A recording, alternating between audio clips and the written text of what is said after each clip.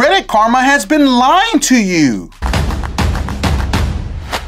Millions of Americans have been convinced that Credit Karma is their real credit score, and in fact, it is not. So, in today's episode, we're gonna take it back to the basics where it all starts with your credit score because I feel that this is still a growing problem in America that Americans truly do not know what their real credit score should look like or where to find it or who to trust. It is a huge growing problem that has never been addressed. I truly believe that you should never use Credit Karma and you should delete it from your phone immediately because it is the biggest misleading app that has ever been put out in American history. And let's be honest with each other. The number one reason why people use Credit Karma is because it's free. Americans love everything that's free. I'm not gonna lie, I like anything that's free also. I don't see a lot of free, but I'm just saying, everyday Americans, including myself, love anything that's free. So we have fallen into this trap to believe that Credit Karma is a good tool to help us,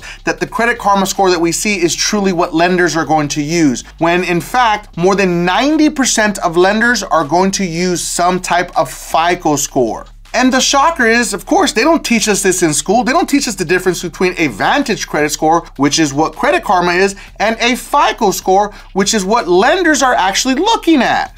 Pay attention to what I just said. Credit Karma is a Vantage 3.0. And unfortunately, you're going to be hard pressed to find any lender out there that is actually going to pull your credit scores from a Vantage 3.0 scoring model because no lender wants to use it. It is unreliable and it uses a different algorithm compared to FICO. All right, hold up. Let's back it up a second. Now, there are a few far and in between places like smaller credit unions that do a Vantage 3.0, but it's very, very rare. Now, some of those buy here now, pay later places, they also use the Vantage 3.0, but all of the major big players in the game, all the lenders that you want to do business with are going to be using some type of FICO scoring algorithm. So this video is going to be one of the most important videos that you're ever going to watch about your credit score. I feel like people don't talk about it enough because I believe it's super important that you know exactly what credit score any of these lenders are going to be looking at. If you're trying to apply for a car, if you're trying to apply for a credit card, or you're trying to look for a new home, I want you to be 100% certain what exactly your credit score truly is for that specific industry. Because you can get a million free credit scores all across the internet because their number one goal is to get you into their ecosystem to sell you or market something to you so you'll eventually buy or get some type of credit card from them. So pay attention to these words that I'm about to say very carefully. There is no free credit score that is your true credit score that lenders see. I know that sounds crazy, and when I say this, people get upset. It's like, this is not fair. Why should I have to pay to see my credit score? It's not my fault. I didn't make the decision.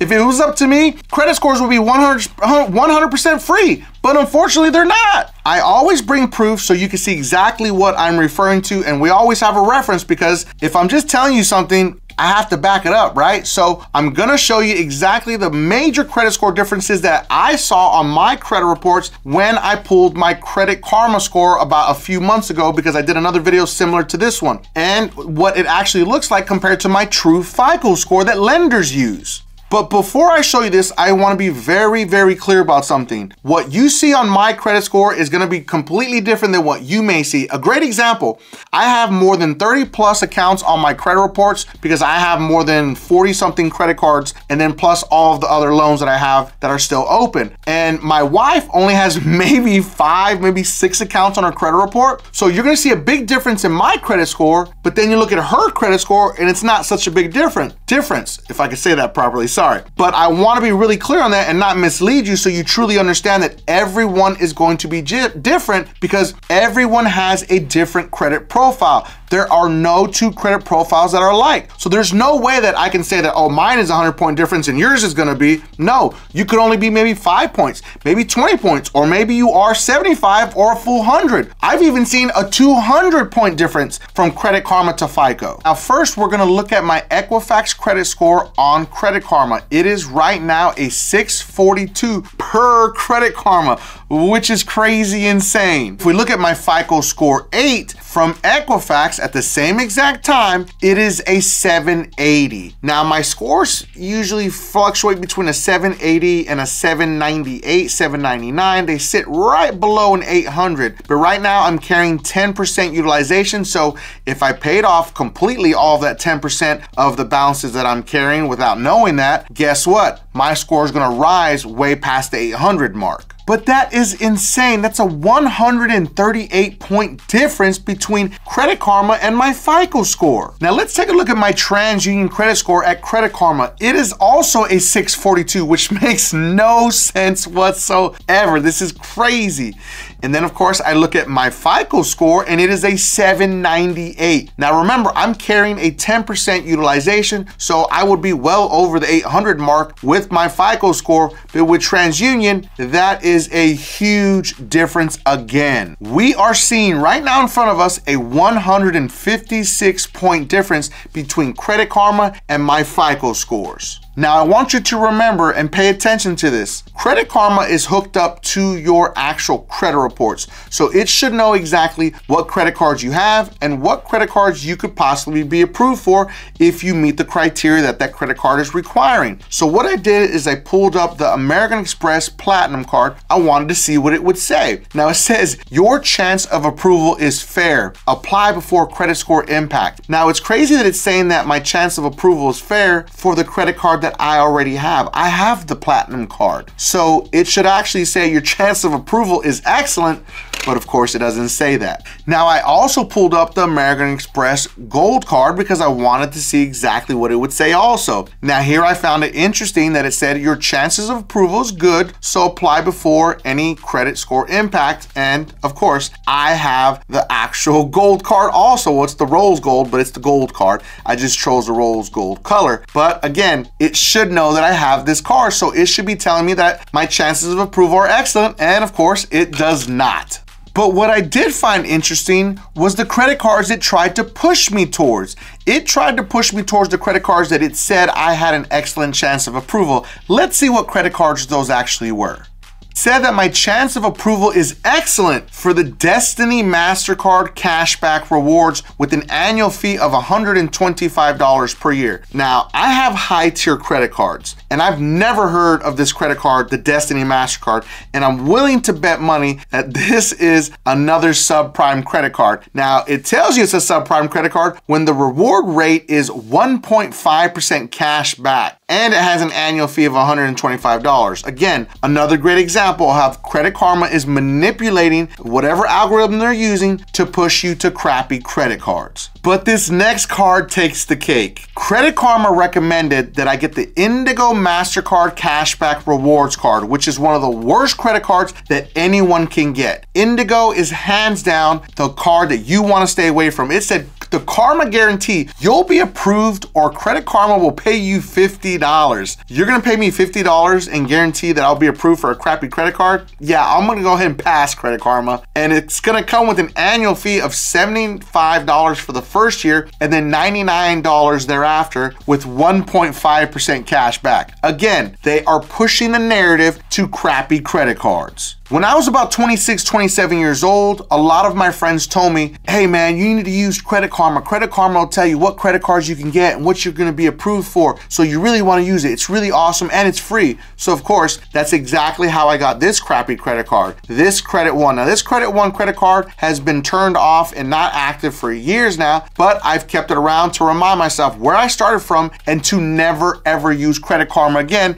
and teach everyone out there that Credit Karma is the biggest scam in American history. But Credit Karma is not the only one. That's the crazy part about this. Stick with me here because we're almost to the part where I'm gonna break down every credit score that you need to pay attention to, the credit scores that lenders are gonna see. I'm gonna show you each one of those and where to find them. But first, I wanna show you how there are a lot of banks that are giving you free credit scores and those are truly not the credit scores that lenders use because remember, we are looking for a FICO score. That's all we care about. Anything Vantage can be thrown in the trash. It's basically useless. Don't come into the comments saying, oh, you know, Advantage 3.0 is it's a good mark to tell you exactly where you stand at. You can use it for free. No, it's a waste of time and energy. Don't waste your time using that when it's misleading you. Don't walk into a dealership and go apply for a car and then you get declined and they're like, uh, well, I mean, um, my credit karma score told me I was a 725 and then get laughed at by the dealership because they love to laugh at people that say things like that because everyone knows that credit karma is not your credit score that lenders use. Now, one of the biggest banks out there, Chase Bank, is gonna give you a free credit score. It's called the Chase Journey, the Chase Credit Journey, sorry. And if you scroll down to the very bottom of it, it says right there underneath the score, says Vantage 3.0. So the credit score that Chase Bank is giving you is not a FICO score, unfortunately. Now let's go over to Discover Bank. Now, Discover Bank is in fact giving you a FICO score. They're telling you exactly that. That is a FICO score, and they're giving you all of the factors factors of your credit profile and they're breaking it all down for you so you can see exactly what your credit score is. So Discover is giving us our FICO score 8. That's exactly what we're looking at. Now this next one is the biggest disappointment in my life. Navy Federal, one of the biggest credit unions out there, one of the most popular ones, is showing you a Vantage 3.0. Now they give you what's called Mission Credit Confidence, but again, they're giving you a Vantage 3.0 and they don't even use a Vantage 3.0, which is mind blowing to me. It's like, okay, so you don't want to pay to give us our FICO scores, but you use a FICO score, but you're gonna show me a Vantage credit score. That makes no sense. Now let's go over to Citibank. Now Citibank is in fact also going to give you a FICO score, not a Vantage score. Shout out to Citibank, you're giving out a FICO score, that's great. Now Capital One uses something called CreditWise, and unfortunately, every single credit score that Capital One's gonna give you using CreditWise is a Vantage 3.0 that doesn't matter. It's basura, throw it in the trash. It's not, there's no point even even looking at it. Now, for the moment that you've been waiting for, let's talk about the credit scores that lenders truly do see. Now, I'm gonna put it up on the screen and I'm gonna walk you through it step by step so I can really break it down. Now, whenever you see a free FICO score, that's what I call your top general FICO score. Now, you see right there, it's usually a FICO 8. FICO 8 is the most commonly used FICO score out there right now currently. Now, if you hear anybody saying, oh, FICO 10T is coming, FICO 10T is gonna be used, oh, it's gonna destroy everybody's credit scores. Listen, that is 100% lie. These people have been talking about FICO 10T for four years now. And I wanna clear something up very, very clear about that that in order for an actual FICO score to be used and adapted, lenders have to use it. So if lenders decide we're not using FICO 10T, that doesn't help us get more approvals, they're not gonna use it. So don't worry, don't stress out. FICO 10T is not coming to fruition anytime soon because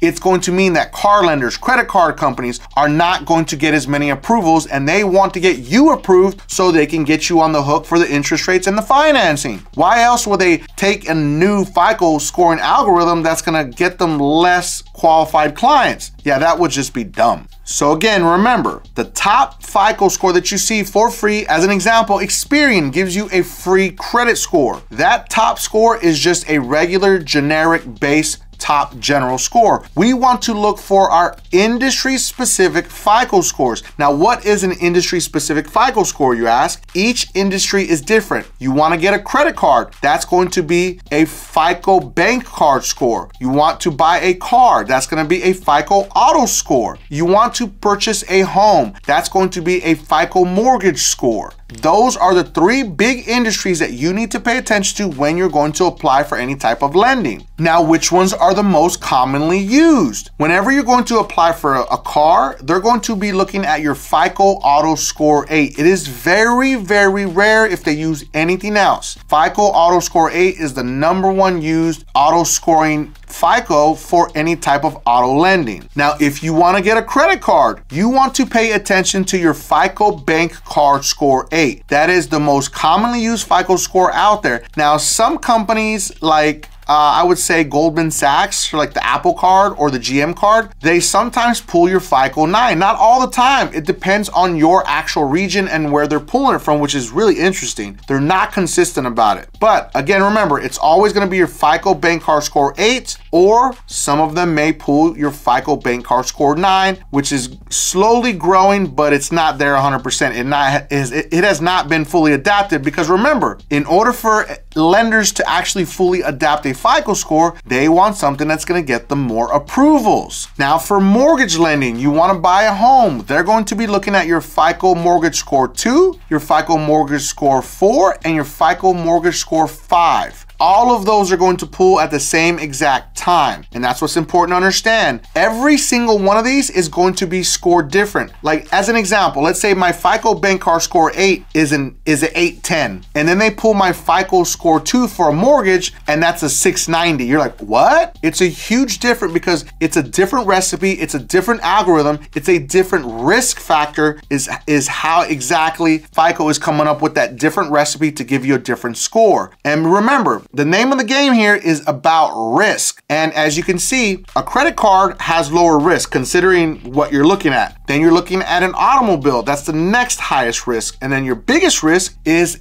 purchasing a home because it's a high dollar item. And the sad truth here is if you have like let's say for instance a 650 FICO score and a lot of lenders will say oh that's not bad but then when you pull your FICO mortgage score because you want to buy a home you're going to be well below that 600 mark and you're not going to qualify. You're going to be in the 500s and then you're going to be shocked. You're like how is this possible? This is because you're looking at the different industry FICO scores. This is why it's important to understand this and learn it and pass this on to your family your friends save this chart that I put up here pause it and save it and send it to your friends so everyone knows what they're looking at when they're trying to apply for certain products for credit. Now, everyone always asks me, what do you use, Mike? I use MyScoreIQ or I use myFICO. Now, the problem with myFICO, my FICO is the king of FICO scores, hands down. There's nothing crazy or wrong about that. They are, in fact, the king of the FICO score. But understand that myFICO is the most expensive version to look at your credit scores. It's going to give you all of your credit scores that you want to look at, but it is in fact going to be the most expensive. You're looking at $39.99 a month or $49.99 a month to see all of your FICO scores depending on your region, which is crazy to me because it could be one price on the East Coast and then a completely different price on the West Coast. And I believe it should be one price all the way across the board and it's not. Let's say you're working on your credit and you're like, should I be using FICO scores? No, don't use FICO scores. Why would you pay that much to see your FICO scores when your score is going to fluctuate up and down? Your credit score does not matter when you're working on your credit. It's great to see the credit the credit score increases. Yeah, that's important because it's going to motivate you, keep you moving. But understand you should not pay for your FICO scores while you're in the credit repair process because it can go up, it can go down, it can flatline, nothing can happen, something can happen. It's going to drive you crazy and you're literally paying $40 a month to see your score go up and down. Use the Vantage Score while you are working on your credit. And then once you're ready to apply for something, then go get your FICO scores. If you're not actively seeking credit, you're not out there applying for credit cards and all these different types of loans, why would you consistently continue to pay myFICO $40 a month? That makes no damn sense whatsoever. Keep your money, save it, and then wait until you're ready to apply for something and then go see your FICO score. But there is one last player on the table. MyScoreIQ is one of my favorite places to see your industry FICO credit scores because you can see your FICO scores for $1 on a seven day trial. Now, once you sign up, you go through the process, then you go to the credit reports page. Go to the credit reports page and then scroll all the way down below your personal information. Right underneath your personal information, you're gonna see your industry FICO scores, and that's exactly what you want to see. Now, I believe once the seven day trial ends, it's either $24.99 or it's $34.99. Depends on the region. Again, of course, for whatever reason, it's a regional thing. Hands down, this is the only place that you can see your FICO scores for $1 on a seven day trial. Nobody else is gonna offer you that that cheap. And this is why I use them more frequently because guess what? I can use it and it's not gonna cost me $40. If I use it, it's gonna cost me $24.99. That is way cheaper and a way better option. And their credit reporting is broke down also on the same format where reports, all three credit reports are lined up right next to each other. It's perfect. There's nothing wrong with it and it's way cheaper. If you would like to use MyScoreIQ to see your true FICO scores, link is going to be pinned at the very top of the comment section and it's going to be in the video description also. So I hope you enjoyed this video and we gave you some clarity on where to find your FICO scores and how Credit Karma is in fact the biggest scam in American history. Now make sure that you watch this next video because it is about what's going on with some banks that you may want to hear about. And if you felt that I brought you some value in this video, make sure that you don't forget and subscribe to increase your credit score.